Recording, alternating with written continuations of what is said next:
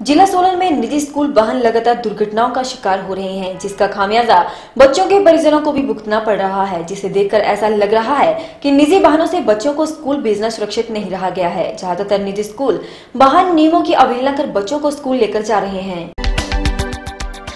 जिला सोलन में निजी स्कूल वाहन लगातार दुर्घटनाओं का शिकार हो रहे हैं, जिसका खामियाजा बच्चों के परिजनों को भुगतना पड़ रहा है, जिसे देखकर ऐसा लग रहा है कि निजी वाहनों से बच्चों को स्कूल भेजना सुरक्षित नहीं रह गया है। ज़्यादातर निजी स्कूल वाहन नियमों की अवहेलना कर बच्चों को स्कूल लेकर जा रहे हैं। परिजन भी लापरवाही से बिना किसी पूछताछ के वाहनों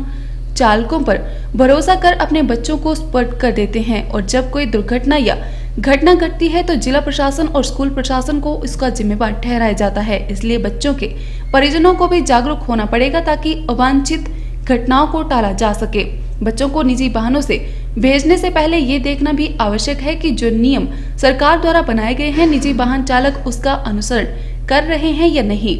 अधिक जानकारी देते हुए आरटीओ सोलन, सुरेश सिंघा ने कहा कि सोलन में ज़्यादातर बच्चों को स्कूल ले जाने वाले वाहन नियमों की अवहेलना कर रहे हैं। एक तरफ़ जहाँ वे पुराने वाहनों को उपयोग में ला रहे हैं, वहीं वे नियमों से ज़्यादा बच्चों को वाहनों में ठूस ठूस कर स्कूल में ले जा रहे हैं, जिसके चलते विभाग उनके खिलाफ सख्त कार्रवाई करने जा रहा है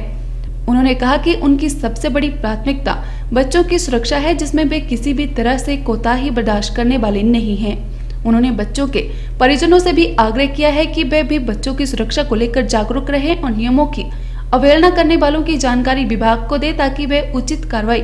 अमल में ला सकें देखिए जहाँ तक स्कूल में जो गाड़ियाँ चल रही है और इनकी जो अपनी गाड़ियाँ हैं या कुछ ऐसी गाड़ियाँ जो अवैध रूप से चलती है, इन पे पहले भी कार्रवाई हुई है और आने वाले टाइम में भी कार्रवाई होगी। और अभी जो एक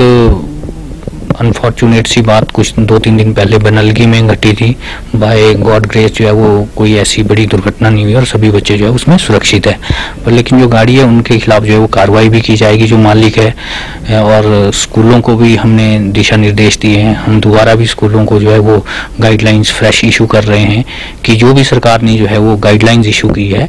स्कूल संबंधी जो दिशा निर्देश है, उनका जो है वो पालन करे। ऐसी बीच बीच में जो है, जो प्राइवेट बैंस है या दूसरी चीज़ें हैं, इस तरह की बातें ध्यान में आती भी है नोटिस में भी लोग भी ले आते हैं और हम एक्शन भी करते हैं, लेकिन बावजूद इसके भी जो कुछ गाड़ियाँ चल रही है, ऐसा हमारे ध्यान में आया है।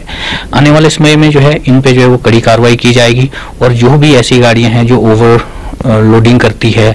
और अवैध तरीके से चल रही है या नॉर्म्स को पूरा नहीं करती है तो उन पर बड़ी सख्त कार्रवाई की जाएगी और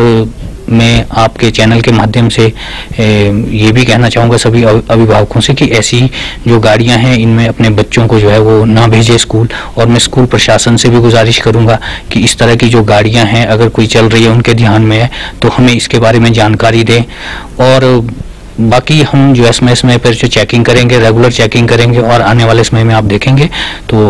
हम इन पे बड़ी सख्त कार्रवाई करने जा रहे हैं। और मेरा अभिभावकों से खास तौर से ये गुजारिश है कि ऐसी जो गाड़ियाँ हैं इनमें जो अपने बच्चों को ना भेजें। जो इस तरह की गाड़ियाँ जो अवैध तरीके से चल रही है जो नॉर्म्स पूरे नहीं कर रही है जो आ, फिट नहीं है जिनके पास परमिट नहीं है और जिनके पास जो है वो ड्राइवर्स है उनके वैलिड लाइसेंस नहीं है ओवरलोडिंग कर रही है तो जो भी ये अवैध तरीके से धंधा चल रहा है इस पर जो है वो बिल्कुल कार्रवाई की जाएगी आने वाले टाइम में। देखो हमें बड़ा क्लियर जो है वो सरकार ने दिशा निर्देश दिए हैं स्कूलों को कि जो बच्चों की लिस्ट है, वो साथ हो, उसमें अटेंडेंट हो, जो ड्राइवर है उसके पास वैलिड लाइसेंस हो, गाड़ी हर तरह से पास हो तो ये सारी चीज़ें जो हैं वो पहले से स्कूलों को बताई गई है। कहीं ना कहीं अगर स्कूलों की तरफ़ से भी किसी तरह की कोताही की जाती है तो हम स्कूलों को भी ये बता देना चाहते हैं कि उनके खिलाफ भी जो है वो कार्रवाई की जा सकती है नियमानुसार।